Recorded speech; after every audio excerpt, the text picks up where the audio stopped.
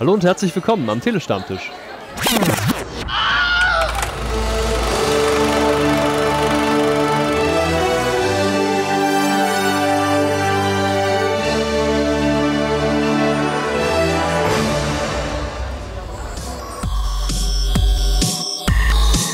Hey Leute, ich bin's, euer Andi. Schön, dass ihr reingehört habt. Hier bei den Shots beim Telestammtisch. Schon die zweiten. Voll geil. Wupp, wupp, Party, Party.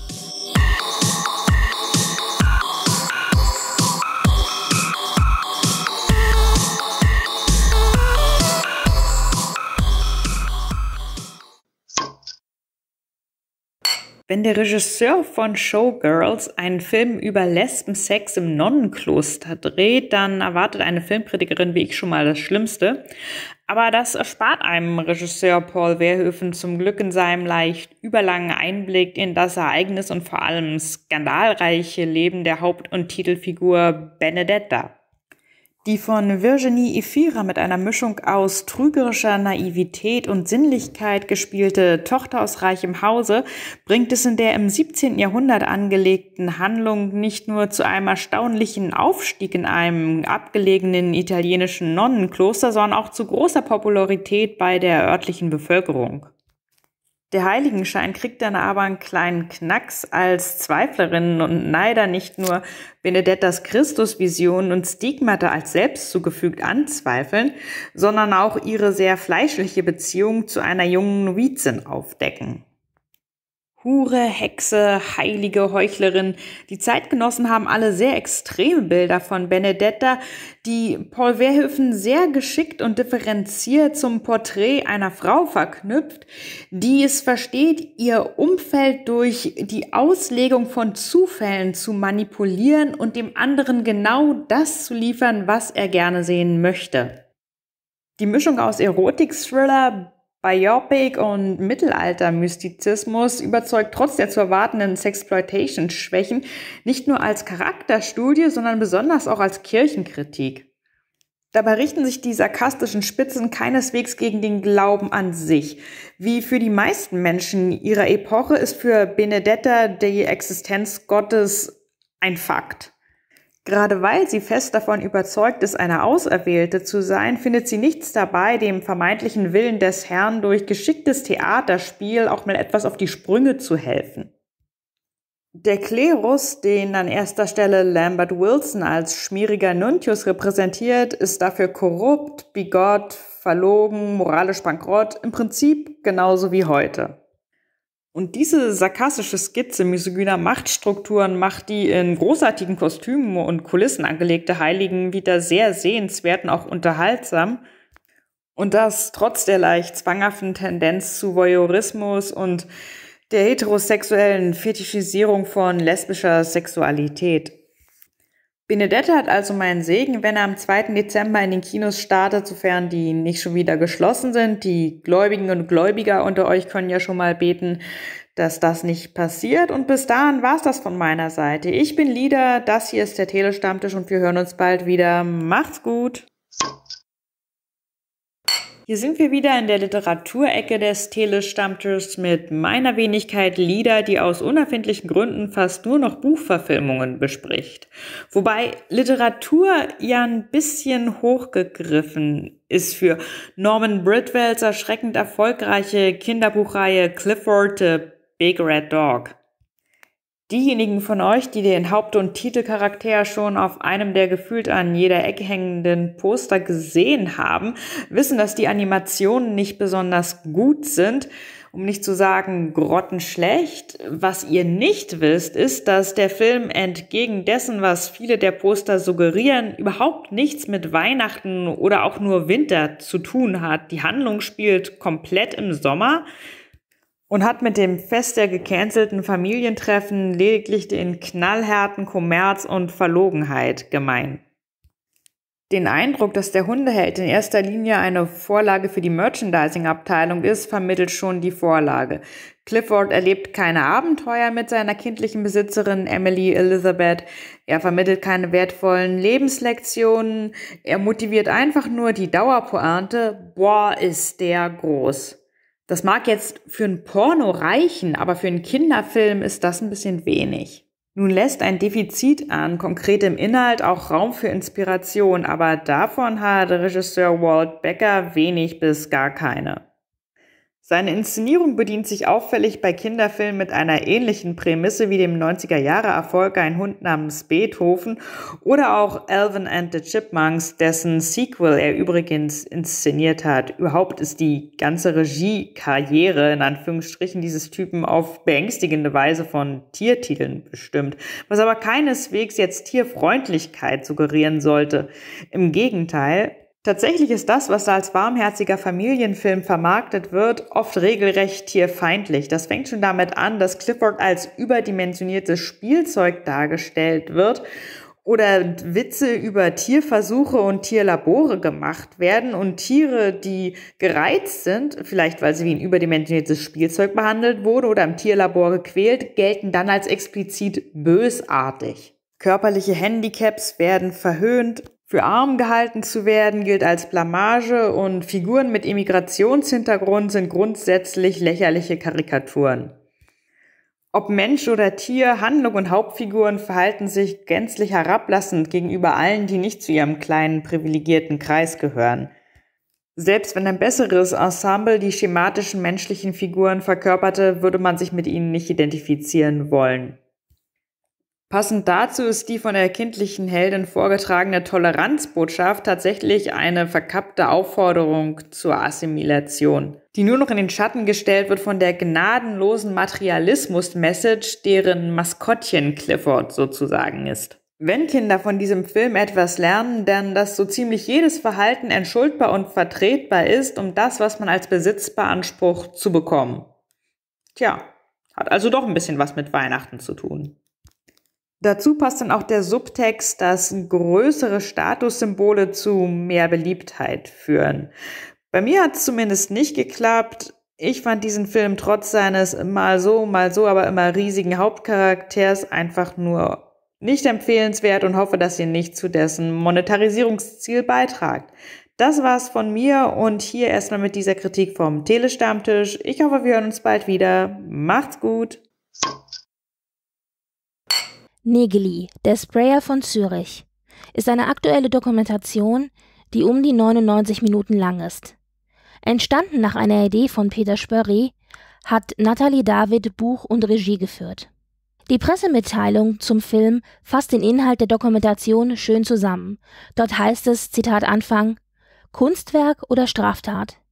Diese Frage provoziert Harald Negeli, seit er 1977 seine erste Strichfigurenzeichnung an eine öffentliche Mauer sprayte. Während die Staatsanwaltschaft dem Sprayer von Zürich 1983 mit internationalem Haftbefehl auf den Fersen war, ist er für viele andere ein Pionier der Street Art. Zitat Ende. Er wurde verurteilt und saß im Gefängnis, bevor er die Schweiz verließ und nach Düsseldorf in Deutschland ging. Auch wenn Dokumentationen sich den Anschein von Objektivität geben, sind sie immer objektiv. Und diese Dokumentation ist es umso mehr, als dass sie bis auf wenige Ausnahmen ausschließlich von Harald Negeli selbst erzählt und kommentiert wird. Kein weiterer Sprecher aus dem Off, kein erklärendes Voice-Over. Alles ist der Künstler selbst. Harald Negeli ist der Sprayer von Zürich und so sehr mich der Titel beim ersten Hören an eine schlechte True Crime-Reihe erinnert hat, so spannend stellte sich die Dokumentation dazu dann heraus. Es geht um den Künstler Harald Negeli und ich gebe zu, ich hatte bisher noch nie etwas von ihm gehört. Völlig ahnungslos, aber dadurch auch entsprechend unbefangen, habe ich mir den Film dann angeschaut, in dem der Künstler selbst aus seinem Leben erzählt. Mittlerweile in seinen 80ern kehrt er aus dem jahrelangen Exil, wie er es nennt, in seine Heimatstadt Zürich zurück, wo er sein letztes großes Kunstwerk, die Totentänze, vollenden will. Während des ersten Corona-Lockdowns 2020 sprayt er über 50 Totentänze, in Anführungszeichen toten Figuren, an Haus- und Gebäudewände in der ganzen Stadt. Der Kanton verklagte ihn dafür. Die Stadt verlieh ihm den großen Kunstpreis. Was in den 70ern bereits zu hitzigen Auseinandersetzungen führte, tut es auch heute noch. Vandalismus und Straftat oder Kunst und utopische Vision. Die Hassliebe zwischen Negeli und Zürich flammte erneut auf. Dabei macht es Negeli einem als Zuschauer aber auch nicht gerade einfach, auf seiner Seite zu stehen. Er ist unbequem, auf Krawall gebürstet, starr und unnachgiebig. Manchmal zu Recht, manchmal hat man das Gefühl eher aus purem Starrsinn heraus. Aber immer authentisch, immer als Künstler in Verteidigung seines Werkes, immer politisch, immer auf seine Botschaft bedacht, immer in Verteidigung seines Lebenswerks. Denn das ist es, was wir hier im Film beobachten. Das letzte Aufbäumen eines Künstlers vor dem Ende seines Schaffens. Negeli ist von Krebs gezeichnet und man weiß nicht, was die Zukunft bringen wird. Doch statt sich auf diese tristen Fragen zu konzentrieren, präsentiert Nathalie David ein einfühlsames Porträt des Künstlers und zugleich auch in gewisser Weise ein Vermächtnis. Ein Testament und Vermächtnis in Bildern, wie Negeli es sich wünscht. Auf Film gebahnt jedoch vielleicht in anderen Bildern als erwartet. Die Dokumentation entwickelt sich ruhig und stetig, aber transportiert eine Kratzbürstigkeit, die der des kontrovers diskutierten Schweizer Künstlers ähnelt. Man weiß als Zuschauer nicht immer, was man vom Künstler und von seinem Werk halten soll. Und ich muss es zugeben, es macht doch Spaß, ihm zu folgen und zu sehen, wie er die richtigen Knöpfe drückt, um die Bürokraten der Schweiz allesamt in die Weißglut zu treiben. Es ist amüsant und es ist auch ein bisschen Schadenfreude dabei, wenn der Underdog es der Autorität zeigt. Für mich, der Negeli nicht kannte, war es zwar nur ein kleiner Blick in seine Kunst, aber eine ganz wunderbare Einführung in sein Leben und Werk, die mich neugierig zurücklässt. Ich werde mit Sicherheit noch ein wenig nachrecherchieren und mich weiter über den Künstler schlau lesen. Für wen ist der Film nun geeignet?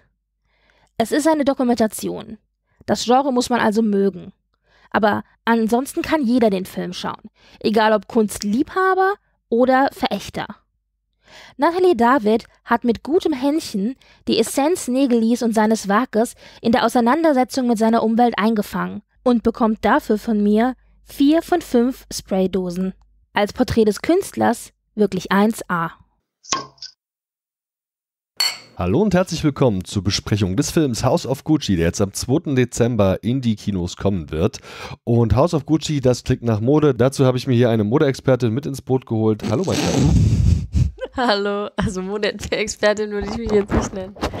Aber gut. Du warst für uns in der Presseverführung von House of Gucci mhm. und das ist ein Film, der ist ziemlich hochwertig besetzt. Vielleicht erzählst du uns erstmal, worum geht's da eigentlich? Ich habe jetzt den Trailer gesehen und ich glaube, es geht auch irgendwie um Mord. Erzähl mal.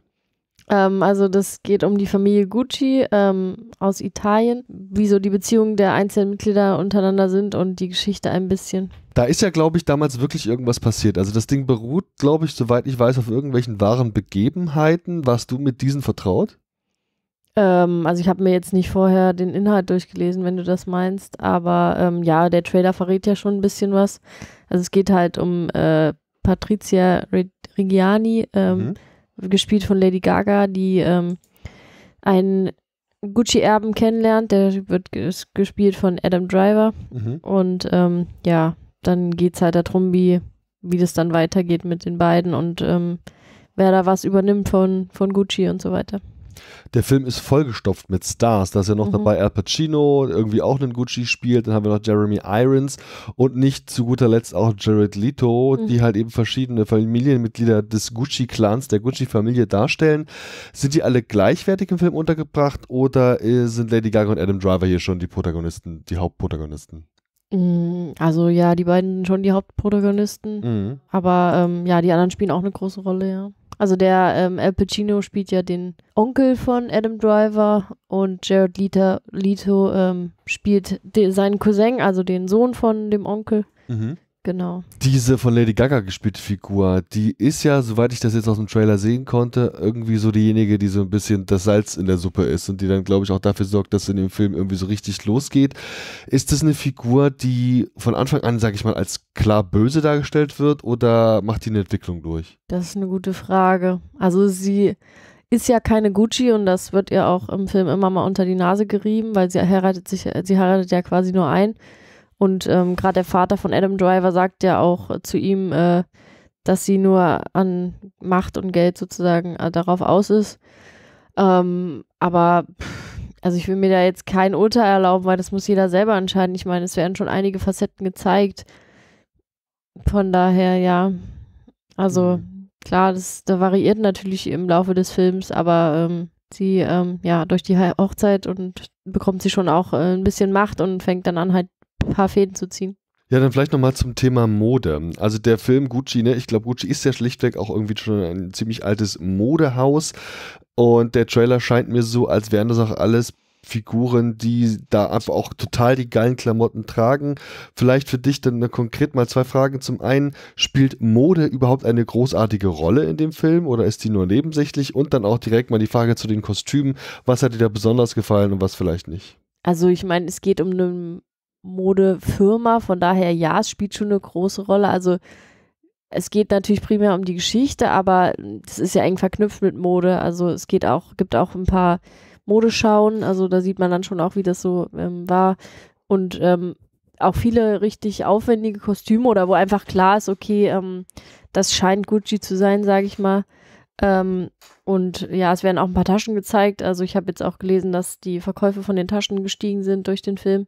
Aber das, das muss natürlich jeder selber entscheiden, ob er das möchte oder nicht. Also eine Sache fand ich noch ganz interessant. Äh, Im Film regt sie sich mal über die ähm, nachgemachten Gucci-Taschen auf oder auch generell Gucci-Mode, die halt einfach geklaut ist. Und ähm, ja, an jemand anderes sagte, naja, jemand, der wirklich Gucci-Fan ist und oder halt äh, sein Image aufpolieren will, der wird sowieso nur eine normal, also eine echte Gucci-Tasche kaufen. Das fand ich eigentlich ganz spannend. Ja, aber Mode spielt schon eine große Rolle, ja. Und die Klamotten der Leute selbst, wie geil sieht das aus? Lady Gaga ist ja auch eine Figur, eine, ein Star, die, wenn sie auftritt, schon auch immer die krassesten Dinge trägt. Mhm. Ist es im Film auch so? Ja, also, also einerseits Lady Gaga hat schon auch immer ähm, äh, so auffällige Kostüme, sage ich mal, aber manchmal auch unscheinbar, aber man weiß schon, okay, ähm, es ist schon alles wahrscheinlich sehr durchdacht, was sie trägt. Und äh, der Cousin von dem Adam Driver, also der von Jared Leto gespielt, der hat auch mal ganz interessante, also Paolo Gucci, ähm, das ist so ein bisschen das schwarze Schaf der Familie und der hat ähm, halt selber was designt und was alle aber blöd finden. Und der läuft immer ganz verrückt rum wie so ein Clown. Ähm, ja, das ist schon auch auffällig.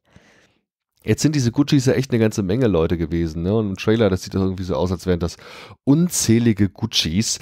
Ist man als zuschauende Person, die man vielleicht auch die tatsächlichen Verhältnisse nicht kennt, überhaupt in der Lage zu verstehen, okay, wer ist jetzt hier das Oberhaupt der Familie, wer hat hier welche Position, wer ist eher der kreative Part, wer ist eher so der verwaltende, kaufmännische Part? Hat man als zuschauende Person wirklich die Chance zu verstehen, wie die Familie Gucci aufgebaut ist?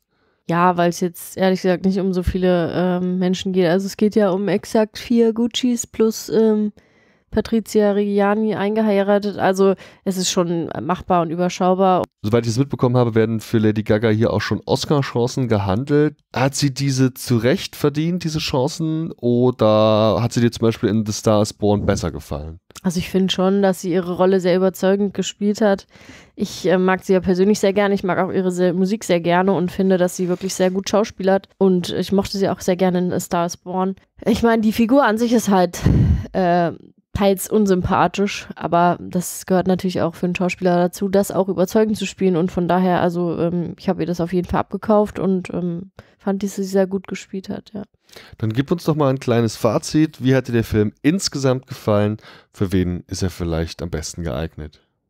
Also er hat mir in, insgesamt sehr gut gefallen. Ähm, ich war wirklich mit ähm, Spannung dabei, sage ich mal. Und es war auch, obwohl er ja fast, also ich glaube zweieinhalb Stunden geht, ähm, war es doch recht kurzweilig, sage ich mal. Was mir überhaupt nicht gefallen hat und was mir, aber das gefällt mir auch in keinem Film, ist, dass ständig geraucht wird. Aber das war wahrscheinlich einfach früher so. Aber so an sich fand ich es echt super. Ich weiß ja nicht, ob das wirklich alles so gewesen ist. Also da gab es ja jetzt auch äh, Nachrichten, dass die Gucci-Familie sich eher beschwert hat, dass die Patricia da so als Opfer dargestellt wird. Also ich will jetzt nicht spoilern, ähm, von daher muss man sich es einfach anschauen. Aber ähm, im Großen und Ganzen fand ich den Film toll. Also manches, äh, ich werde mir auf jeden Fall nochmal auf Deutsch anschauen, weil der war ja im Original in Englisch. Ähm, und manches ähm, werde ich, glaube ich, wahrscheinlich erst beim zweiten Mal verstehen. Also gerade diese langen Verhandlungen, in Anführungsstrichen, also wenn die Familie irgendwie zusammensaß und irgendwas besprochen hat, da, ja, da habe ich nicht immer 100% alles verstanden. Ja, aber im Großen und Ganzen äh, kann man das auf jeden Fall empfehlen, sich anzuschauen, wenn man halt Lady Gaga und Adam Driver mag. Ähm, wenn man Jared Leto mag, Wobei, ich meine, der ist ja so verkleidet, dass man das nicht wie von ihm übrig bleibt, außer die Augen, sage ich mal. Und der, den er spielt, ist auch sehr, also teils sehr unsympathisch und echt fast ein bisschen anstrengend zuzugucken. Also die Art, wie der sich verhalten, also einfach wie er so vom, von der Art her ist, der spricht ganz komisch und verhält sich auch komisch. Aber ich meine, er hat es halt gut gespielt, in Anführungsstrichen, ähm, wenn er halt wirklich so einen komischen komische Person spielen sollte. Ich fand auch den Akzent von Lady Gaga eigentlich ganz cool, muss ich sagen. Die ist ja auch, glaube ich, gebührt, also eigentlich hat italienische Wurzeln mhm, zumindest. Ja. Und deshalb fand ich die Besetzung auch eigentlich ganz cool, als ich das gehört habe oder gesehen habe und gelesen habe. Ähm, es waren ja eigentlich, der Film ist ja schon länger geplant und eigentlich waren auch ein paar andere äh, Frauen dafür im Gespräch. Ich glaube, unter anderem sogar Angelina Jolie. Ähm, ja, aber ich fand es eigentlich im Nachhinein ganz cool, dass äh, Lady Gaga das spielt und habe mich auch wirklich gefreut, dass es noch einen Film von ihr gibt, sage ich mal. Ja. Ridley Scott inszeniert ja einen Film, der ist ab zwölf Jahren freigegeben. Da würde mich schon interessieren, wir sehen es im Trailer, es wird wohl einen Mord geben. Du musst nicht sagen, wer an wem, aber vielleicht kannst du ja sagen, ob der sehr brutal daherkommt. Bei so einem also FSK 12 Film stelle ich mir das schwer vor. Man, ich denke mal FSK 12 einfach, weil so viel geraucht wird und viel getrunken wird und weil es auch ähm, ein, zwei Sexszenen gibt. Ähm, aber ansonsten, ähm, man sieht nicht viel von dem Mord. Also es, ja, also man, man sieht es schon, klar, man weiß, wer, da erschossen wird, aber ähm, ist jetzt nicht so, dass man da jetzt wochenlang Albträume kriegt. Also wenn man mit dem Thema jetzt nicht irgendwelche schlechten Erfahrungen gemacht hat, sage ich mal. Okay, auf einer Skala von 0 bis 5 Handtaschen, wie viele Handtaschen vergibst du? das ist eine gute Frage. Also ich meine, ich bin halt letztendlich äh, mit diesem Modethema, das, das reizt mich jetzt an sich nicht so, aber ich fand den Film schon sehr schön. Ich habe mich auch gefreut, im Kino äh, den anschauen zu können. Und ich mag, wie gesagt, die, die, die Darsteller auch, fand ich eigentlich alle ganz, ganz toll. Ist halt eine gute Frage. Also irgendwas zwischen viereinhalb und fünf. aber ähm, man, ich weiß halt nicht, wie es wirklich war. Von daher würde ich mal sagen viereinhalb. Alles klar. Ja, vielen Dank für deinen Kinobesuch und deine Meinung zu House of Gucci. Bis zum nächsten Mal. Sehr Ciao. Gerne. Einen wunderschönen guten Tag und ein herzliches Hallo zu einer weiteren Filmbesprechung beim Telestammtisch. Es handelt sich hierbei um den Film Otak, zu Deutsch oder Otak, glaube ich, gesprochen, zu Deutsch Vater vom serbischen Regisseur Srdan Golubovic. Wir, das sind Frostkaktus und Matthias. Der Name des Films Vater das, das ist Programm, also ist, der Film handelt von einem Vater und die Handlung ist eigentlich, würde ich sagen, relativ schnell zusammengefasst. Es geht nämlich um die Geschichte, wie ein Vater darum kämpft, seine beiden Kinder, die ihm weggenommen wurden, zurückzugewinnen. Und der Film zeichnet diesen Kampf nach und wir folgen der, der Hauptfigur über 120 Minuten, wie er gegen korrupte dörfliche Strukturen versucht anzugreifen und sich dann auf den Weg äh, vom Dorf äh, in Serbien in die Hauptstadt Belgrad macht, um persönlich Einspruch beim Minister des Sozialministeriums ähm, vorzulegen. Und das ist die Geschichte, die der Film sozusagen dokumentiert. Vielleicht möchtest du auf einige Punkte vertiefend eingehen. Also der Film fängt im Grunde genommen schon mit einer sehr eindringlichen Szene an. Da geht eine Mutter irgendwie schnurstracks ihre, hinter, äh, ihre Kinder hinter sich herziehend ähm, zu der Fabrik, wo ihr Mann früher gearbeitet hat und droht dort, ähm, also das ist jetzt kein großer Spoiler, das sind in die, die ersten fünf Minuten Handlung des Films steht dann da mit einer Flasche voll mit Petroleum auf dem Hof und sagt, wenn jetzt nicht sofort der Ausstand, den mein Mann noch ausgezahlt zu bekommen hat, wenn das jetzt nicht sofort irgendwie äh, herkommt, dann zünde ich mich und meine Kinder an, denn wir haben Hunger, wir haben nichts zu essen, irgendwie, wir müssen doch jetzt endlich mal bezahlt werden. Und dann reagiert natürlich keiner und im letzten Moment irgendwie ähm, entschließt sie sich dann, die Kinder dann doch am Leben zu lassen und überschüttet dann nur sich ähm, mit dem Petroleum, zündet sich an, wird dann aber auch gleich wieder von den ähm, Umstehenden dort gelöscht. Und das ist dann quasi der Auslöser für diese ganze Geschichte. Und das macht einfach von vornherein klar, die Situation dieser Familie ist so dramatisch, dass die Mutter zu so einem barbarischen Akt greift, um um quasi nach Hilfe zu schreien. Und ähm, das setzt im Grunde genommen den Ton und es wird auch nicht besser, es wird auch nichts hoffnungsvoller oder so. Also es ist so die ganze Zeit so dieses Don Quixote-artige, dieses Kämpfen gegen Windmühlen. Ja, ich finde das sehr interessant, was du sagst. Ich kann dem eigentlich nur zustimmen, aber ich fand auch diese, diese völlig existenzielle Szene, sich selbst anzuzünden, das war für mich auch was, wo ich wirklich gedacht habe, also das habe ich so auch selten in Filmen gesehen und hat mich zu Beginn wahnsinnig berührt, muss ich zugeben. Auf der anderen Seite, du, du sagtest das, sie hat gedroht, also einfach auch, die, sie läuft dahin und sagt, ich bin Biljana Stojkovic. Also das ist die, die Hauptperson, äh, jetzt die Frau und die Frau von Nikola Stojkovic. Also man fängt mit der Frau an, aber sie bespritzt dann ja auch erstmal eins der Kinder mit Benzin. Mhm. Und ich finde, das ist ja auch einfach was, wo man eigentlich ja in, in einer gewissen Art auch wahnsinnige Distanz empfindet. Also wie kann man sein Kind, sie zündet das Kind dann nicht an, aber sich auch vor den, vor den Augen, ähm, vor den Augen der eigenen Kinder anzuzünden, das ist ja wirklich einfach, einfach ein, ein, ein unglaublicher Akt. Und trotzdem fand ich interessant, dass, dass, dass einfach diese Verzweiflung so gespielt wurde, dass man im Grunde gar keine Verurteilung im ersten Moment gespürt hat. Ich weiß nicht, wie dir das gegangen ist, aber ich fand das tatsächlich eine sehr eindrückliche Szene.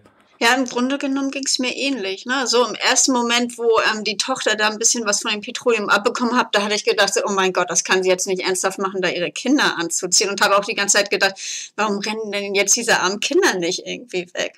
Und dann schubst sie die Kinder aber dann doch noch weg und ähm, geht dann selbst ein Stück zur Seite. Und wo ich dann gedacht hatte, also das hat mich so ein bisschen mit ihrer Figur versöhnt.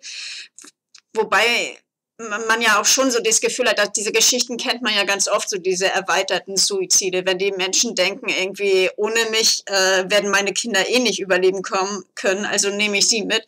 Und also da spürt man ganz viel so von dieser Verzweiflung, die da einfach hintersteckt, so und und diese totale absolut und ich fand ja. ne? und irgendwie halt auch sehr gut gespielt das Ganze irgendwie, also insgesamt kommt der Film ja mit relativ wenig Worten aus und das finde ich hat für mich aber so sehr so diese Sprachlosigkeit dieser armen Schicht dort ähm, unterstrichen. So, die, ist, die sind einfach viel zu müde und kaputt, um noch groß irgendwie äh, schlaue Reden zu schwingen oder so. Und denen fehlt wahrscheinlich auch zum großen Stück weit die Bildung, ähm, um überhaupt sich zu artikulieren. Also diese Sprachlosigkeit war für mich etwas sehr Prägendes in dem Film.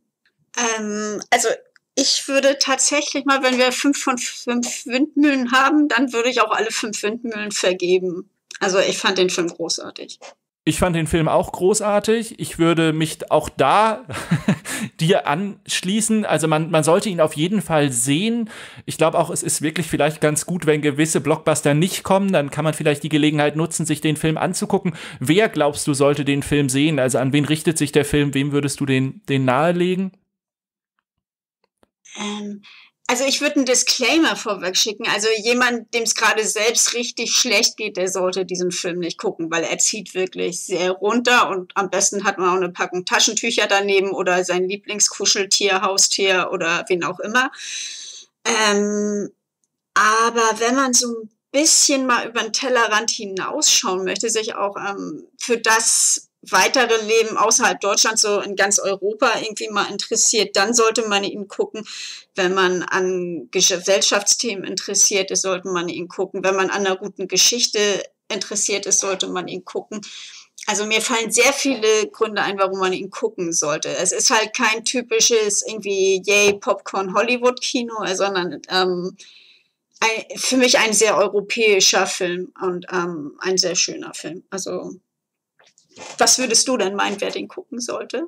Vielleicht hast du ja noch eine gute Ergänzung. Ich, ich schließe, ich, ich schließe mich mit dir da an. Ich glaube äh, tatsächlich, man, man sollte wissen, was einen erwartet.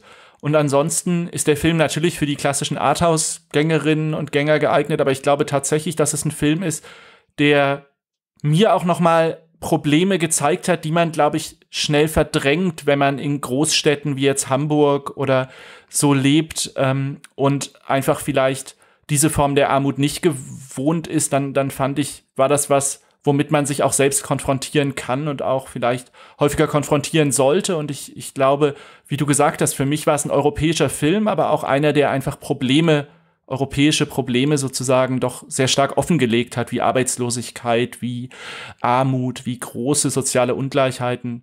Ähm, genau, aber, aber schaut ihn euch auf jeden Fall an, geht, geht hin und ja, Gebt uns gerne Rückmeldung und Feedback, wie euch der Film gefallen hat, äh, auf den Seiten des Telestammtischs. Und wir freuen uns bald wieder für euch da zu sein und weitere Filme, hoffentlich ähnlich gute Filme für euch besprechen zu können. Hast du noch ein Schlusswort oder?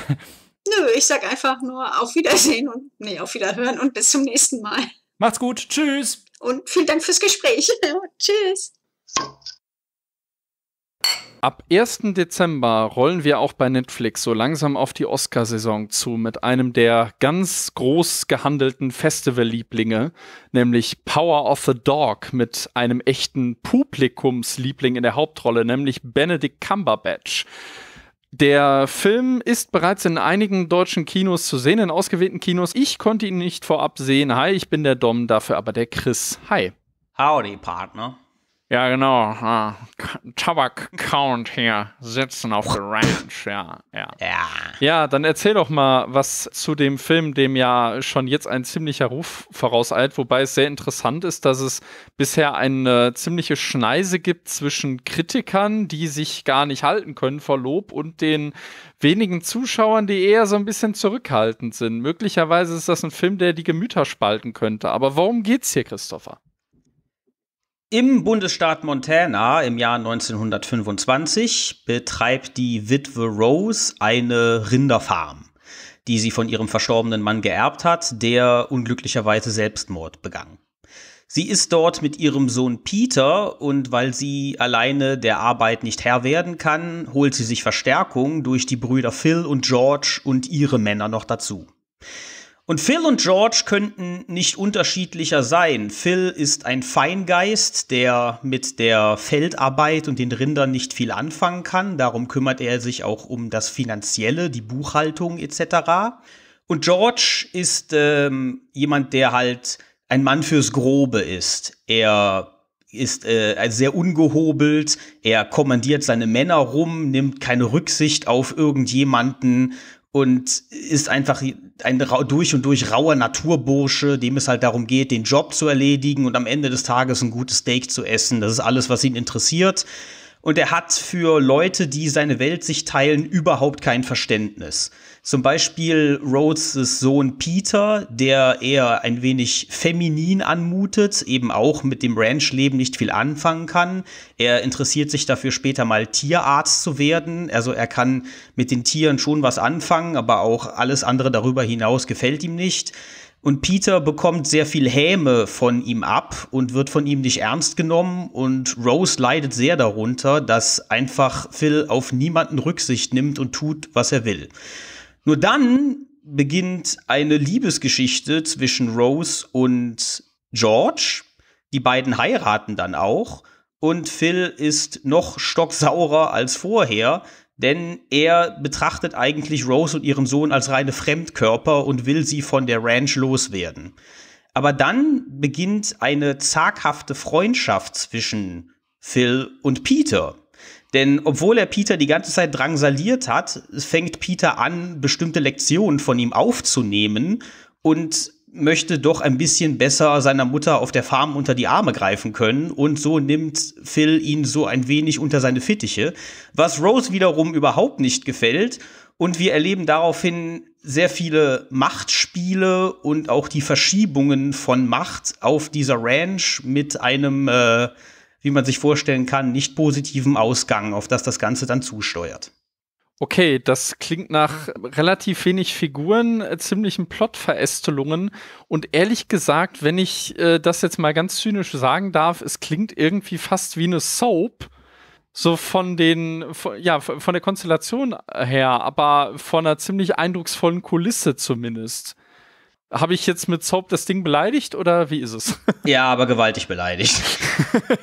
ich habe in meiner Inhaltseingabe ein wenig auch äh, gestruggelt, wenn es darum geht, einfach alles zu erzählen, was hier wichtig ist. Aber das ist nun mal alles wichtig. Mhm. Aber wie du schon im Eingang gesagt hast, dass äh, Kritiker jubeln ohne Ende und Zuschauer sind eher verhalten. Ich kann das absolut verstehen, weil das ist der ohne Frage wohl subtilste Film, den ich seit langer Zeit gesehen habe. Hier gibt es nichts, was irgendwie oberflächliches Drama verspricht oder was man irgendwie in so einer Art von Story überall in jedem anderen Film sehen würde. Es gibt keine dramatischen Wendungen, es gibt keine Gewaltausbrüche, es gibt kein Schauspiel, das einfach nur dafür da ist, so theatralisch wie möglich zu sein, wo man halt dann sagen kann, ja, das hier ist der Clip, den man dann auf der Oscarverleihung bei den Nominierungen zeigen kann für den oder den Schauspieler.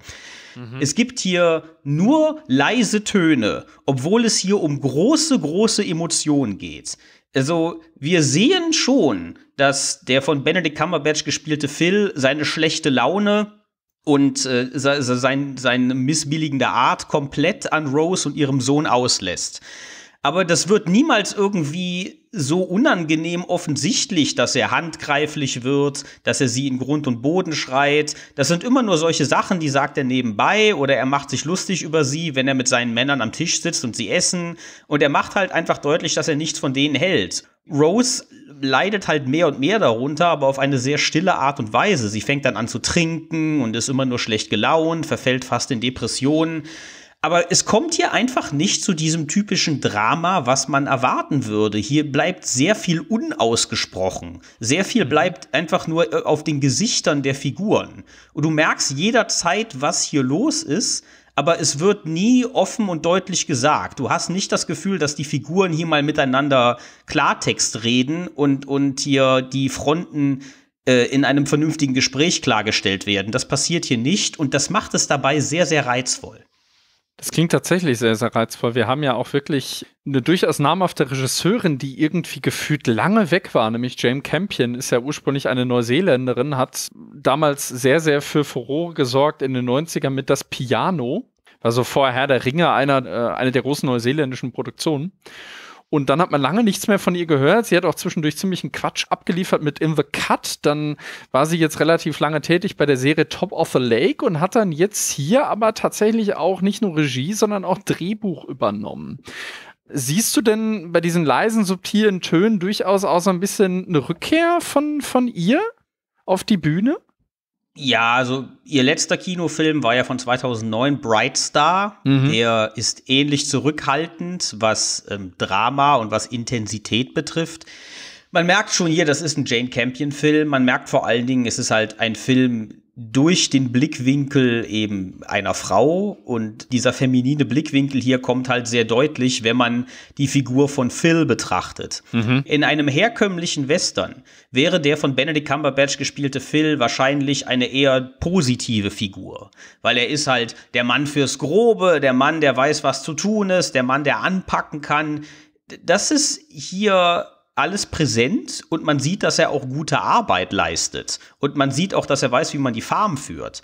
Aber was halt in einem herkömmlichen Western oder in einem Western aus einer rein männlichen Perspektive vielleicht zu kurz kommen würde, ist, dass dieses Raubeinleben eben auch äh, den Tribut fordert, dass dieser Mann in keinster Weise seine Gefühle artikulieren kann. Dass er auf einer emotionalen Art und Weise überhaupt nicht erwachsen ist und dass dadurch alle Beziehungen, die er in seinem Leben hat, leiden. Also er, er kann irgendwie seinem Bruder nichts Positives zugestehen, nennt ihn die ganze Zeit immer nur Fettklops und hat keinen Respekt für die Arbeit, die er leistet, ob, obwohl er sich da ja buchhaltungsmäßig und auch auf anderer Ebene sehr gut um die Farm kümmert. Und er kann auch selber irgendwie niemals zugeben, dass er sich nach, nach äh, Geborgenheit sehnt. Weil interessant wird halt die, äh, die Freundschaft, die dann eben zwischen ihm und dem Sohn von Rose entsteht, mhm. wo die beiden über seinen Mentor reden, so einen anderen Rancher und Viehzüchter, von dem er auch äh, den Sattel übernommen hat, nachdem er starb. Und das ist eine sehr schöne Szene. Die beiden reden darüber und sie reden dann darüber, dass sie auch mal irgendwie nachts draußen waren und haben auf die Herde aufgepasst und hatten da ein Lagerfeuer und haben dann nebeneinander geschlafen und sich warm gehalten. Mhm. Und äh, weiter geht das dann nicht, aber er erzählt dann irgendwie schon, wie sehr er ihm fehlt und dass er sein bester Freund war. Und du merkst irgendwie schon, bestimmte Dinge, wie alles andere in diesem Film, auch werden zaghaft angedeutet bei der Figur von Phil, dass da vielleicht auch eine Art von unterdrücktem Verlangen ist, was er nicht ausleben kann. Und das führt halt eben zu dieser unausstehlichen Art, die er hat. Das klingt wirklich alles andere nach als nach dem, ja, doch sehr ähnlichen Rollenschema immer, was Benedict Cumberbatch oft ausfüllt. Also wir haben ihn ja zuletzt zusammen beide, da kann man auch gerne reinhören, in der Spion gesehen, wo er auch ein bisschen aus der Art geschlagen ist von, vom Rollentypus her. Und hier scheint sich das wirklich wohltuend äh, fortzusetzen. Ich habe auch gehört, dass er tatsächlich für die Rolle ziemliches Kettenrauchen angefangen haben soll und dann auch Probleme hatte, wieder aufzuhören. Ja, generell haben sich da alle Figuren beziehungsweise alle Schauspieler sehr in ihren Rollen verbissen. Ich hatte im Vorfeld auch gelesen, dass um diese, diese Abscheu, die halt Phil und Rose gegenüber gegeneinander empfinden, richtig darstellen zu können, mhm. haben Kirsten Dunst und Benedict Cumberbatch mit Absicht am Set nie miteinander gesprochen. da, soll, ja, da sollte von Anfang an keinerlei Sympathie oder sowas aufkommen. Deswegen sind sich die beiden mit voller Absicht am Set immer aus dem Weg gegangen, um halt dafür zu sorgen, dass die Abscheu authentisch wirkt. Kommen wir mal ruhig dann auf, auf Kirsten Dunst.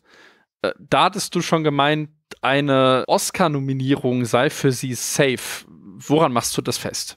Das ist eigentlich hier eine ähnlich intensive Darstellung von ihr wie in Lars von Triers Melancholia. Oh, wow. Ja, ja. Wow. Im, im, Im Sinne von, es fängt an mit einer recht gefassten Frau, die halt äh, damit klarkommt und das Verhalten von Phil erst ein bisschen abtut mit, ach, es ist nur ein Mann, es ist nur ein Cowboy, einer von vielen. Sowas sagt sie auch zu ihrem Sohn, als ihr Sohn öfter mal fragt, ist alles in Ordnung mit dir?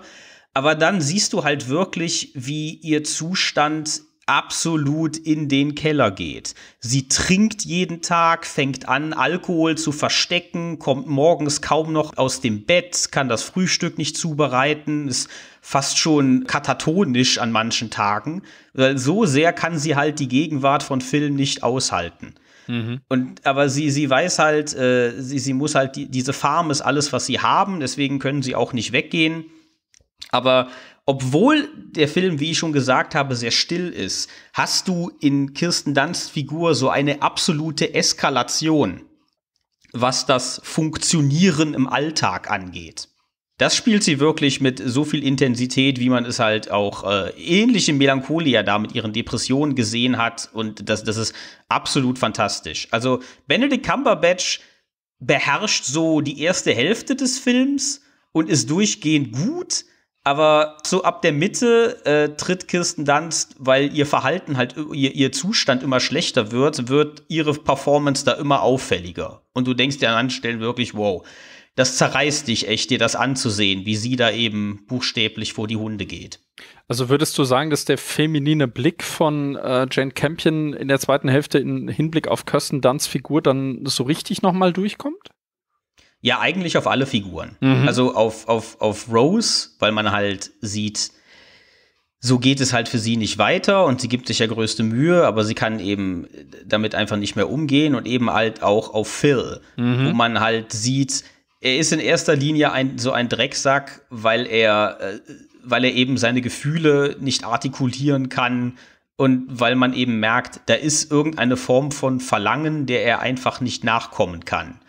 Und das, das, das sind so leise, subtile Töne, die hat man in Western ja eher selten. Hin und wieder hat man ja auch Western, wo bestimmte Western-Mythen dekonstruiert werden. Ja. Aber das hier ist wirklich noch mal was ganz anderes. Das hebt das auf ein ganz neues Niveau, wo man halt sieht, diese, diese rauen Naturburschen, Männer, die halt in solchen harten Umständen aufwachsen und dort zu Männern werden, die, das hat eine Seite, dass sie halt äh, zu schnell, sehr schnell zu Selbstversorgern werden können, aber es hat halt auch die negative Seite, dass da, da in Sachen Reife und äh, Emotionalität vieles auf der Strecke bleibt. Wir haben ja im Cast noch äh, sowohl äh, Cody Smith McPhee als auch Jesse Plemons, der ja irgendwie gefühlt überall auftaucht, den mhm. ich mittlerweile echt wahnsinnig gern mag. Ja. Äh, die scheinen ja auch, wie du das gesagt hast, äh, also der Cumberbatch und Kirsten Dunst, die scheinen so ein bisschen so, ein, so eigentlich ja eine Dreiecksbeziehung zu führen, wenn auch nicht äh, ein Liebesdreieck denke mal, dass, dass der da auch nicht in viel nachsteht. Ne? Also das scheint ein Cast zu sein, der wirklich, äh, wo wahrscheinlich irgendwie so ein, ein Rad ins andere greift, ne? Ja, weil Jesse Plemons ist gut, aber Kirsten Dunst und Benedict Cumberbatch bestimmen hier schon deutlich das Geschehen. Aber man mhm. muss nicht denken, dass der dabei irgendwie untergehen würde. Jesse Plemons weiß sich da zu behaupten und ist halt auch ein bisschen hin und her gerissen. Einerseits will er halt äh, natürlich ein guter Ehemann für Rose sein, aber andererseits sieht er halt auch, dass das Verhalten seines Bruders einfach nicht mehr akzeptabel ist und er mhm. versucht da vergeblich zu vermitteln. Und er ist, er ist, er ist durch und durch, äh, ist, ist das eine solide Performance, kann man nicht sagen. Aber er ist halt nicht so der Hingucker des Films. Und Cody Smith McPhee ist einfach auch cool, wie, wie er das durch und durch einfängt, dass er da an diesem Ort eigentlich fehl am Platz ist. Ähm, dass er eben ein, ein absoluter, ein sehr sensibler Junge ist, der halt mit dem Kopf immer woanders ist und für den halt die harte Arbeit auf einer Farm durch und durch nicht passend ist und das sieht man auch in seiner in seiner Körpersprache. Er hat immer mhm. so einen mhm. ziemlich geduckten Gang, geht niemals aufrecht, hat immer die Arme verschränkt, man merkt immer, dass er sich da unwohl fühlt, kleidet sich auch anders als die anderen Cowboys, weswegen die sich auch oft über ihn lustig machen und okay. das, das ja, dieses Fish out of water Thing, das das macht er da wirklich sehr gut. So rein ästhetisch scheint der Film aber doch relativ ein typischer Western zu sein, der dann aber vielleicht auch mit seiner Handlung so ein bisschen das Genre wiederum unterläuft, ne? Ist mein Eindruck, weil du hast ja schon große, weite Einstellungen und auch die ganze, wenn man sich so die, die Fotos ansieht, Cumberbatch halt in der weiten Prärie und dann ähm, kommt mir vor, als wäre das ein relativ intimer Film vor einer sehr großen Kulisse, was ich tatsächlich immer, ich, ich mag dieses, dieses Wechselspiel zwischen solchen beiden Faktoren immer ganz gerne. Ja, das kommt hier schön zur Geltung. Also Jane Campion weiß ganz genau, was sie hier für eine Kulisse hat und die fängt sie auch sehr schön ein. Du hast Bilder von den Bergen, der Prärie, das Haus aus der Ferne. Wenn die beiden äh, George und Rose zum Beispiel dann einen Ausflug machen, nachdem sie geheiratet haben, hast du dann auch so das Auto auf dieser Landstraße. Also der Film spielt 1925, wie schon erwähnt, da gibt es schon Autos. Dann auch fängt sie das in einer totalen ein. Also, obwohl es eine sehr intime Geschichte ist, weiß sie wirklich ihre Kulisse zu nutzen und fängt dementsprechende Panoramen ein, die sich auch wirklich sehen lassen können. Bei der Musik ist vor allem sehr interessant, Johnny Greenwood äh, war hier verantwortlich. Das ist ja bekannter Musiker. Der hat ja vor allem äh, auch zu äh, Paul Thomas Anderson Film viel gemacht, auch viel Dissonantes, vor allem zu The Will Be Blood, äh, der ja auch schon so ein bisschen in die Richtung schlug und auch ein bisschen sperriger war. Wie ist das hier? Also die Musik ist hier nicht so albtraumhaft wie in There Will Be Blood. Das äh, ja. überhaupt nicht. Das, das, die Musik passt eigentlich sehr gut zu dem subtilen Ton, den die Regie anschlägt. Mhm. Weil obwohl der emotionale Zustand der Figuren sich hier verschlechtert und das Verhältnis zwischen ihnen immer giftiger wird, ist es nicht so, dass die Musik das irgendwie versucht zu untermauern mit albtraumhaftem Geigengezirpe oder sowas. Also ich will jetzt seinen Score zu There Will Be Blood nicht schlecht reden, der war mm, fantastisch. Sehr speziell. Aber, mm. Ja, aber ja. Der, der hatte halt wirklich sowas, ne, de, zu zeigen, das ist wirklich furchtbar, was hier passiert. Also da war der There Will Be Blood Score ziemlich deutlich in dem, was er, welche Gefühle er in dir auslösen wollte. Und das hier klingt eigentlich mehr nach einem typischen Western-Score. Also ich habe äh, den nicht mehr sehr präsent, weil er ist auch recht zurückhaltend, aber das Main-Theme, das kann man auch im Trailer hören, wenn man sich den nochmal anguckt. Das ist die ganze Zeit so ein Stück mit so einem galoppierenden Rhythmus und ähm, aber es ist nicht so, dass der Score hier besonders dick auftrumpft von wegen, das hier sollst du jetzt fühlen. Da, da reiht sich der Score einfach perfekt in den Rest des Films ein. Wir haben auch hier, auch äh, hinter der Kamera, also nicht nur auf dem Regiestuhl, sondern auch hinter der Kamera haben wir eine Frau, nämlich Ari Wagner. Da erinnere ich mich tatsächlich sehr an ihre Kameraarbeit in dem großartigen Lady Macbeth äh, mit Florence Pugh, äh, der sehr aufgeräumte, sehr äh, äh, ästhetisch aber auch ein bisschen sterile Bilder hatte. Ähm, spiegelt sich hier auch eventuell sowas wieder? Also vielleicht auch diese Ruhe innerhalb der Bilder? Findet sich das da auch wieder? Ja, es sind alles in allem sehr satte, warme Bilder. Das ist alles sehr mm. in diesem Sonnenlicht getaucht. Mit, viel mit Gegenlicht, ne? Ja, ja. Ja, auch. Steril und kalt würde ich das jetzt nicht bezeichnen. Also es hat schon durchaus den klassischen Western-Look, was ja auch beabsichtigt ist vermutlich, dass man dann halt in diesem klassischen Western-Look und, und viel eben so eine Geschichte erzählt, die so komplett gegen Western-Klischees gebürstet ist. Mhm. Deswegen ist das hier ästhetisch, ist das schon durch und durch so, wie man sich einen Western vorstellen würde. Okay, aber von zwei Frauen äh, ästhetisch und, und inszenatorisch einfach geprägt. Sehr interessant tatsächlich. Ja. Okay, hast du noch was äh, wirklich, was du zum Film loswerden möchtest? Ansonsten würde ich sagen, kommen wir zum Fazit, oder? Ja, können wir zum Fazit kommen. Also, ich hatte das auch schon im Vorfeld gesagt und die verhaltenen Stimmen mancher Zuschauer kann ich verstehen, weil es ist wirklich ein Film, der auf sehr leise Töne setzt und man muss sich sehr mit den Figuren auseinandersetzen, sonst könnte einem hier und da was entgehen. Man muss da sehr, sehr auf Kleinigkeiten achten. Mhm. Gestiken, Mimiken, bestimmte Verhaltensweisen. Sonst kann man wirklich äh, da sitzen und denken, es ist doch einfach nur langweilig und hier passiert nichts. Hier passiert schon eine ganze Menge, aber eben nicht in der Art und Weise, wie man es gewohnt ist. Also mehr das, das Innenleben der Figuren ne, spiegelt sich dann wahrscheinlich auch in den Handlungen, ohne dass groß gesprochen werden muss wahrscheinlich. Ne? Exakt, exakt. Und ich habe halt schon eine Weile sowas nicht mehr gesehen. Und ähm, Jane Campion unterstreicht hier einfach mal wieder, warum sie diesen guten Ruf genießt. Weil äh, es gibt wenige Filmemacher, die halt wirklich so messerscharf die, die Psyche ihrer Figuren seziert und das alles zum Vorschein bringt. Und ich liebe es, wenn Regisseure sowas einfach gut beherrschen. Und von daher, ganz besonders im Western-Genre, hat das nochmal eine besonders interessante Note, weil da ist sowas ja erst recht äh, äh, eher selten aufzufinden. Von daher, was, was die Awards-Saison betrifft, ist das definitiv einer der interessantesten Filme des Jahres und was auch, was für Preise er in den nächsten zwei, drei, vier Monaten auch gewinnen wird, die seien ihm gegönnt. Und ich gebe gute vier von fünf Reitsattel.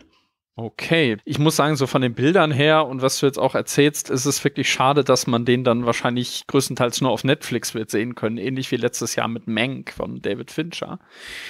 Ja, weil von der Ästhetik her scheint das wirklich für, für die Leinwand gemacht zu sein, eigentlich, ne? Ja, also klar, ähm, das ist jetzt kein Film für ein IMAX-Kino. Also ist jetzt nicht bombastisch ja. in irgendeiner Weise. Ja. Aber wenn man einen schönen großen Bildschirm hat oder auch in einem kleinen Kino den sehen kann, dann merkt man schon, ja, der hat Bilder, die sprengen jetzt schon, sagen wir mal, den Bildschirm eines Laptops. Also ein, gro ein großer Bildschirm dafür ist schon angemessen. Gut, dann werde ich ihn auf keinen Fall zu Hause auf dem Laptop gucken, sondern eher auf dem großen Bildschirm.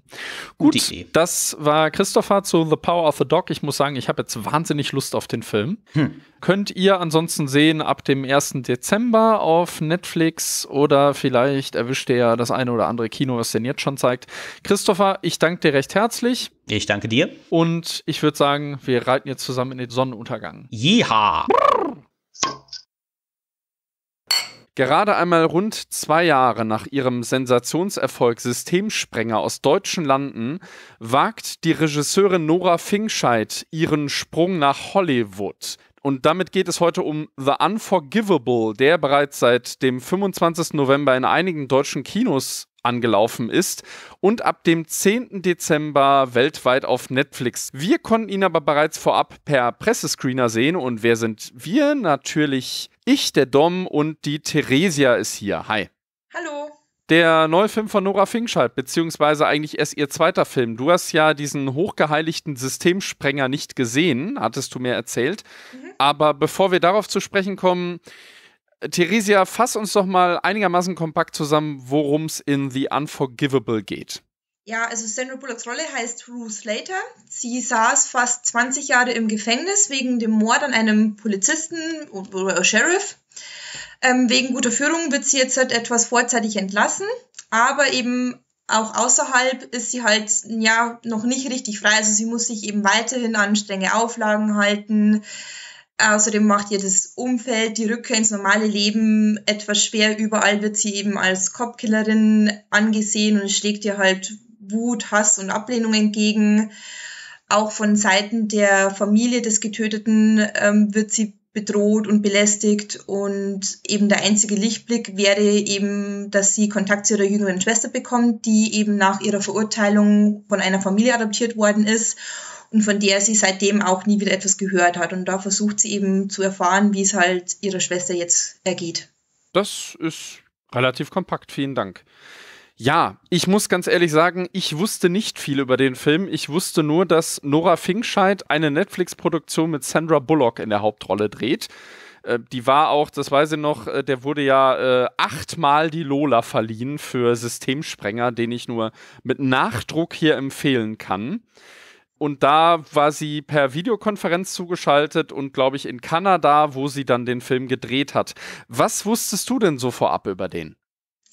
Ich muss ganz ehrlich gestehen, ich wusste vorher über den Film relativ wenig. Also ich habe dann mir den Trailer angesehen und gedacht, okay, der Film klingt interessant und spannend. Dann wollte ich den Film eben sehen, habe dann eben auch so in der Nachrecherche eben herausgefunden, dass es auch die Regisseurin ist, die eben den Systemsprenger gedreht hat, der mir leider noch auf meiner äh, Liste fehlt. Ja, Pile of Shame. ich hol ihn noch nach. Ja und habe dann eben auch noch äh, erfahren, dass es sogar auf einer Serie basiert, auf einer britischen. Ja, aber ich war eben trotzdem sehr auf den Film jetzt erstmal gespannt. Ich auch. Vor allem, wenn man dann weiß, dass Nora Finkscheid den gedreht hat, dann kommt das schon durch, weil was er auf jeden Fall mit Systemsprenger gemeinsam hat, ist natürlich so, ja, äh, die, die Beobachtung von Außenseitern beziehungsweise von Leuten, die durchs Raster fallen. Hier hat sich allerdings ihre Perspektive verschoben gegenüber Systemsprenger, weil da wurde ja größtenteils aus der Sicht der Tochter erzählt und hin und wieder mal aus der der überforderten Mutter. Hier haben wir zwar kein Tochter-Mutter-Gespann, dafür halt eine ältere Schwester, die aber trotzdem sehr früh mehr oder weniger in die Mutterrolle eintreten musste, wie wir dann auch im Verlauf des Films erfahren. Mhm. Ja, aber da muss ich aber sagen, man bekommt jetzt von der jüngeren Schwester eigentlich, also man er sieht sie schon dann in dem Film mhm. auch und man merkt auch, dass die ja auch noch Erinnerungsfetzen hat, aber nicht so richtig weiß, an was sie sich erinnert aber sie ist jetzt nie so, finde ich, irgendwie so diese, so eine Art tragende Rolle oder dass ähm, so der Fokus auf sie gelegt wird. Also da gibt es andere Familienmitglieder in ihrer Adoptivfamilie, die man öfter sieht oder die mehr ähm, Screentime haben oder einen wichtigeren Part. Fand ich aber ganz ähm, spannend, dass, dass das so gemacht worden ist und naja, man sieht halt, jede Familie, die jetzt in diesem Schicksal beteiligt ist, hat halt im Nachgang immer noch ihre Probleme. Mhm. Eben Sandra Bullock versucht wieder Fuß zu fassen. Die Familie von dem getöteten Sheriff hat danach leiden müssen. Die haben, glaube ich, auch dann ihr Haus verloren oder solche Probleme dann gehabt und leiden halt auch noch darunter, dass der Vater so früh gestorben ist ja, und eben auch die, die Adoptivfamilie muss eben dann mit den Nachwirkungen klarkommen, die dann die Adoptivtochter eben hat, im Sinne von den Erinnerungsfetzen von psychischen Problemen. Die muss auch irgendwelche Medikamente nehmen. Mhm. Also es ist keiner Heil, sag ich jetzt mal, aus dieser Geschichte rausgekommen bis jetzt. Nee, absolut nicht. Also weder äh, bei den Ereignissen von vor 20 Jahren noch jetzt. Also man merkt auch eben einfach, gewisse Wunden kann die Zeit nicht heilen.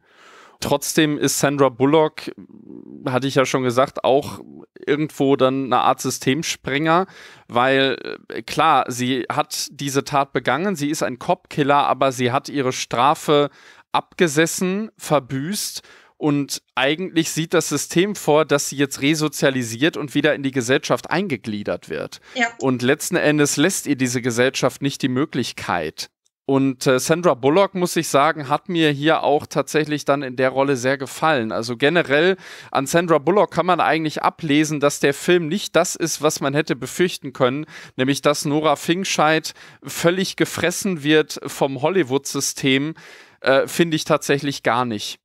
Ja. Man, man merkt tatsächlich ihre Handschrift und das ist schon bemerkenswert, denn das ist, glaube ich, ihr zweiter oder dritter Spielfilm erst und die Frau kommt eigentlich aus dem Dokumentarfilmbereich. Äh, also man, man merkt einfach sehr schnell, dass die, dass die eine sehr beobachtende Haltung immer einnimmt und auch in den meisten Fällen sehr wertfrei. Die hat eine ganz feinfühlige Art und die setzt sie hier auch weiter fort und Sandra Bullock ist, ja, buchstäblich wie der ganze Film ziemlich ungeschminkt. Also wir haben ja mhm. abseits dessen haben wir ja durchaus bekannte Darsteller. Wir haben Don Cheadle, wir haben John Bernthal, wir haben Viola Davis und äh, Vincent D'Onofrio in, ja, relativen Stichwortrollen, wenn auch das funktioniert, aber Sandra Bullock ist natürlich im Vordergrund und ich muss sagen, also in gewissen Komödien und bei ihrer Rollenauswahl kann man geteilter Meinung sein, aber hier liefert sie wirklich ab. Ja, also sie spielt die Rolle, also diese, ja, gebrochene Frau ist jetzt zu hart, ähm, aber sie ist halt jetzt gezeichnet auch von diesen Jahren, die sie im, im Knast verbracht hat. Also sie ist halt dann auch zwar schon irgendwie schüchtern und zurückhaltend, kann sich aber auch verteidigen und ist dann auch ziemlich hart und aggressiv, wenn sie angegriffen mhm. wird. Also das merkt man dann eben auch.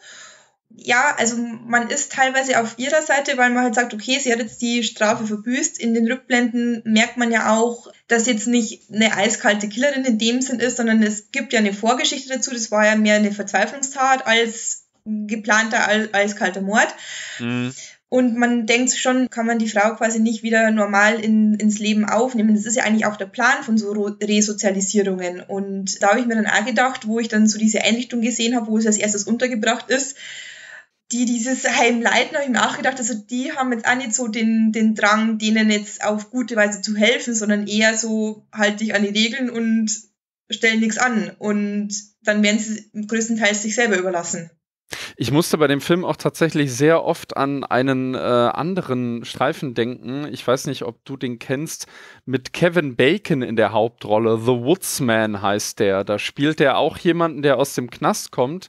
Der ist allerdings ein Lehrer, der bei äh, Schülerinnen übergriffig geworden ist, also der pädophil ist und der auch sich sehr, sehr schwer tut, einfach wieder normales Leben zu führen und dem halt auch ordentliche Fallstricke vor die Füße gelegt werden. Ähnlich wie hier Sandra Bullock. Ja, das ist natürlich eine Nummer harter Tobak, wenn du halt dich an, wenn halt immer Kinder mit im Spiel sind. Ja. Ähm, also ich weiß, dass es den Film gibt. Er ist auch mhm. auf meiner äh, Watchlist, aber ich habe ihn noch nicht gesehen. Sehr unangenehm. Der ist auch von einer Frau, interessanterweise, Nicole Kessel. Ja. Das ist so ein bisschen das Interessante. Man merkt, dass Nora Finkscheid den gedreht hat, wenn man Systemsprenger gesehen hat und wenn man das halt weiß. Ähm, andererseits ist der Film aber doch relativ auch amerikanisch. Also diesen typischen Job, den sie da macht, eigentlich, sie ist nur irgendwie ein Rad im Getriebe, was irgendwie so, so durchläuft, eigentlich nur noch funktioniert, ne? Mhm. Also in, in dem Job, den sie da macht, sie ist ja eigentlich gelernte Schreinerin. Das fand ich auch sehr ungewöhnlich tatsächlich. Also eigentlich ein durchaus differenziertes Frauenbild, was hier auch gezeigt wird. Trotzdem fühlte sich der Film an manchen Stellen doch relativ amerikanisch an, was ich nicht unbedingt als Negativpunkt ankreiden würde. Ich fand eins allerdings sehr unglaubwürdig, dass die Schwester mit Mitte 20 äh, noch bei ihren Pflegeeltern lebt. Das erschien mir etwas seltsam. Gut, ja gut, ich habe mir jetzt nicht so viel Gedanken gemacht. Stimmt, die müsste dann schon über 20 sein, weil es war ja, sie saß ja fast 15 Jahre im Knast. Stimmt. 20. Ähm, mhm. Ja, da habe ich mir jetzt ehrlich gesagt gar nicht so viel Gedanken drüber gemacht. Aber die Schwester ist generell so ein bisschen so ein Schwachpunkt, finde ich, weil äh, ja, so wirklich gezeichnet wird die nicht als Figur. Also äh, eigentlich lernen wir sogar ihre Freundin, die dann auch eine Schlüsselrolle durchaus hat, besser kennen als sie. Nee, ich glaube, ich glaub, das ist die Adoptivschwester. Stimmt, das ist die Adoptivschwester, Entschuldigung also, es, es, es, stimmt, also es ist halt so, dass halt die, die Schwester, die äh, Sandra Bullock ja sucht, die bekommt es gar nicht so mit, was mhm. so nebenrum alles passiert ist. Es bekommen die Adoptiveltern mit und die Adoptivschwester kriegt es mit, dass es da ähm, diese ältere Schwester gibt, die wohl im Knast gewesen ist. Aber die Person, um die es geht, die versteht es erst am Ende so richtig. Ähm, das ja. fand ich aber gar nicht, im Grunde gar nicht so schlimm. Ja, was heißt schlimm? Ich fand's halt, es, es wäre okay gewesen, wenn man die Schwester vielleicht gar nicht so wirklich gezeigt hätte im Film. Also, dass man diese Distanz die Sandra Bullock zu ihr halten muss oder gezwungen ist, zu ihr zu halten, äh, dass die sich dann auch in der Erzählweise und in der Inszenierung widerspiegelt. Aber es gibt ja durchaus auch, ja, einen kleinen Subplot sogar eigentlich. Oder auf jeden Fall Szenen, wo, wo wir nur die Schwester sehen. Ich muss auch sagen, was ich auch ein bisschen konstruiert fand, war, wie Vincent D'Onofrio und Viola Davis in die ganze Nummer reinkommen, weil naja, dass Sandra Bullocks Anwalt dann ausgerechnet das Haus gekauft hat, in dem das Ganze vor 20 Jahren passiert ist, das erschien mir auch etwas konstruiert. Ja, dass er dann eben auch noch zufällig Anwalt ist und ihr dann hilft, ist natürlich, sind ein paar Zufälle zu viel. Ja. Was ich etwas komisch finde, ist, oder was mir etwas gestört hat, war dieser Sheriff, den sie getötet hat, der hatte ja zwei Söhne und der mhm. eine Sohn, der hat sich halt wahrscheinlich noch sehr gut an den Vater erinnert und der ist eben gar nicht damit klargekommen, dass sie so früh entlassen wird und hat eben auch immer schon irgendwie so Rachegedanken gehabt und wollte seinen Bruder immer so mit anstacheln, den Jüngeren. Ja. Und der hat am Anfang immer so gemeint, nee, lass gut sein, ist doch jetzt in Ordnung. Und innerhalb von einem Gespräch ähm, hat sich dann dem seine Meinung komplett geändert. Mhm. Und hat dann quasi einen neuen Plan entwickelt. Und da haben wir gedacht, okay, von 0 auf 100, aber gut. Ja, das ist auch wieder so, da merkt man doch wirklich, dass es ein amerikanischer Film ist. Das ist so dieses Law and Order. Ja. ja auch so ein bisschen, das, das, also auch, ähm, ja, kann man kritisieren, wobei ich das gut fand, dass so ein bisschen da auch gegen die Erwartungshaltung gearbeitet wurde, weil der eine Sohn des Sheriffs der wirkte wirklich schon, äh, also dem würde ich nicht gern nachts begegnen, sagen wir es mal so. Und der andere wirkte eigentlich relativ pragmatisch und dann tauschen die am Ende mehr oder weniger eigentlich die Rollen. Ja. Also man, man darf jetzt hier eigentlich auch kein großes Star-Kino erwarten. Also klar, Sandra Bullock ist im Fokus und ist immer eine Oscar-Preisträgerin und die macht das auch wirklich toll. Also die ist, wie gesagt, ungeschminkt. Ich glaube auch, dass die in vielen Szenen gar kein Make-up hatte die wirkt auch sehr abgekämpft, sehr in sich zusammengesunken. Das spielt sie wirklich großartig. Da merkt man auch wirklich, was, was sie für eine großartige Darstellerin ist. Und die anderen, die spielen ihr eigentlich nur zu, mhm. tatsächlich. Also man darf jetzt hier nicht, äh, wenn man die, die große Star Power hier sieht, dann, dann äh, darf man jetzt auch nicht zu viel erwarten. Handwerklich ist der Film ja solide relativ unspektakulär. Man merkt immer wieder in gewissen Szenen kommt so was leicht Dokumentarisches durch wir haben auch tatsächlich, äh, ich meine, hinter der Kamera ist immer der Mann, der äh, für Pans Labyrinth den äh, Kamera-Oscar bekommen hat. Und äh, was mich total gewundert hat, wobei zum Finale hin kam es dann doch durch, Hans Zimmer ist hier sogar noch mit von der Partie gewesen. Das wusste ich gar nicht. Ja, das habe ich jetzt erst zum Schluss gelesen, aber dann ähm, konnte ich mich schon gar nicht mehr wirklich an die Musik erinnern, muss ich gestehen. Ja, die ist auch sehr subtil tatsächlich. Ja. ja. Bis auf das Ende. Ja. Ja, das Ende ist auch so ein bisschen, worüber man bei dem Film noch reden muss. Also, es ist ein bisschen schwierig. Das eigentliche Finale fand ich zu konventionell, ohne jetzt zu viel zu verraten. Äh, die Schlussszene fand ich andererseits sehr, sehr schön. Und ja. auch genau der richtige Absprung gefunden, ja. in meinen Augen. Das fand ich auch. Also ja, also auch diese letzte Szene fand ich sehr gut und auch dann ja so etwas das Ungewisse. Mhm. Aber ja, so die Minuten davor war halt so, ja, wie wir schon gesagt haben, so klassische Hollywood-amerikanische Variante. Mhm. Ja, und das, ähm, ich meine, der Film ist ja, ich weiß nicht, haben wir das überhaupt schon erwähnt? Das ist ja eigentlich ein, äh, ja, ein Spielfilm-Remake einer dreiteiligen UK-TV-Serie. Doch, hatte ich erwähnt. Ach ja, genau, aus dem Jahr 2009. Das lag wohl auch sehr lange wohl auf Halde. Ursprünglich sollte Christopher McCrory das machen, hat sich dann aber doch eher Mission Impossible zugewandt. Und jetzt ist es dann eben bei Nora Finkscheid gelandet. Äh, wie man jetzt auch so von äh, sowohl deutschen als auch amerikanischen Stimmen hört, dass es dem Film anscheinend nicht gut tut, dass er dasselbe Ende hat wie die Serie. Generell sind die Reaktionen auf den Film relativ verhalten, was ich nicht so ganz nachvollziehen kann, ehrlich gesagt. Nee, das finde ich auch. Also, ja, es ist natürlich jetzt kein Mega-Blockbuster, aber ich finde auch, also so die Kritiken, die er so bekommen hat, kann ich jetzt nicht so ganz nachvollziehen und finde ich auch nicht so gerechtfertigt. Also da muss ich sagen, hat er mir wirklich sehr gut gefallen. Man muss in der Hinsicht auch halt wirklich einfach den Hut vor Nora Finkscheid ziehen, ne? Also äh, vor zwei Jahren fast noch ein unbeschriebenes Blatt irgendwo in Deutschland. Ich meine, Systemsprenger, wenn du den siehst, das ist ein absoluter Billigfilm. Und dann das hier, ich meine, hier ist schon eine ziemliche Starbesetzung. John Bernthal haben wir zum Beispiel gar nicht erwähnt, der auch eine schöne Rolle hat eigentlich, von dem hätte ich gerne noch mehr gesehen.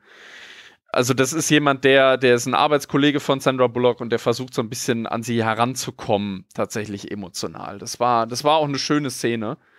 Generell zum Ende hin wird der Film ein bisschen pathetisch, aber hat trotzdem starke Momente. Und wie gesagt, die Schlussszene, die hat mich tatsächlich doch ziemlich mitgenommen und ergriffen. Ja. Aber trotz allem würde ich sagen, also wenn, wenn du nichts mehr hast, dann würde ich sagen, kommen wir zum Fazit. Und da lasse ich dir natürlich äh, erst recht bei einem weiblich geprägten Film den Vortritt. Vielen Dank dafür. Nee, also wie gesagt, mir hat der Film auch äh, sehr gut gefallen. Ich fand das Thema sehr interessant, eben durch das, wie sich jemand, der eigentlich seine Strafe verbüßt hat und wieder versucht, in Gesellschaft sich zu integrieren und es ihm aber von vielen Seiten sehr schwer gemacht wird. Ja, er hat eben auch so seine emotionalen Seiten der Film und wie gesagt, auch die Schlussszene hat mir persönlich sehr gut gefallen und ich würde jetzt dem Film ja dreieinhalb von fünf Sternen geben. Ja, da bin ich tatsächlich auch so. Ich bin ein bisschen umschüssig, ob ich dreieinhalb oder vier Äh, was vergehen wir denn mal? Pfannkuchen. Auch gerne das. Genau, auch eine sehr, sehr schöne Szene nebenbei bemerkt, inszenatorisch sehr interessant. Also ich fand den, fand den sehenswert. Hier sieht man auch, dass Sandra Bullock mehr kann als nur Comedy. Und es ist auch, wie ich finde, kein Oscar-Bait-Streifen, so nach dem Motto, ach ja, Sandra Bullock äh, zeigt sich jetzt mal hier ohne Make-up und, und ach, in einem ernsten, bedeutungsschwangeren Drama, sondern die spielt halt einfach die Rolle. Also ich hatte nicht den Eindruck, dass sie jetzt irgendwie, ah, gib mir den verdammten Oscar oder so, ne? Nee, also sie spielt die Rolle sehr gut, ja, und sehr glaubwürdig. Ja, und zwar wirklich auch durch äh, einige emotionale Schluchten hindurch, ne? Inszenatorisch ist das, ist das grundsolide. Ich bin sehr gespannt, was wir von Nora Finkscheid noch sehen werden. Ich hoffe nicht, dass der Film jetzt ja Aufstieg äh, international jetzt schon wieder ein frühes Ende findet durch die doch eher zurückhaltenden Reaktionen anscheinend. Ihr könnt euch den Film sehr, sehr gerne anschauen. Ab dem 10. Dezember auf Netflix zu sehen, wenn ihr ihn nicht in den paar deutschen Kinos, wo er jetzt schon läuft, sehen könnt. Theresia, ich danke dir recht herzlich. Ja, gerne, immer wieder. Gerne immer wieder. Ja, und damit sind wir jetzt auch wunderbar in der Zeit geblieben. Macht es gut. Ciao, ciao. Ciao. Sehr geehrte Damen und Herren, wertes Publikum, liebe Hörende, vielen Dank für eure Aufmerksamkeit und Zeit. Ich hoffe sehr, euch hat gefallen, was ihr gerade gehört habt. Wir, die Redaktion des Telestammtisch, betreiben ein semi-professionelles Podcast-Projekt zum Selbstmitmachen. Also meldet euch bei uns, wir beißen auf. Außerdem freuen wir uns immer über Feedback via Social Media und E-Mail sowie euren finanziellen Support. Ebenso frohlocken wir förmlich über Bewertungen auf den gängigen Podcast-Plattformen. Wer möchte, darf uns gern immer und überall empfehlen. Alle relevanten Links findet ihr in den Show Notes. Vielen Dank und bis zum nächsten Mal. Euer Andi.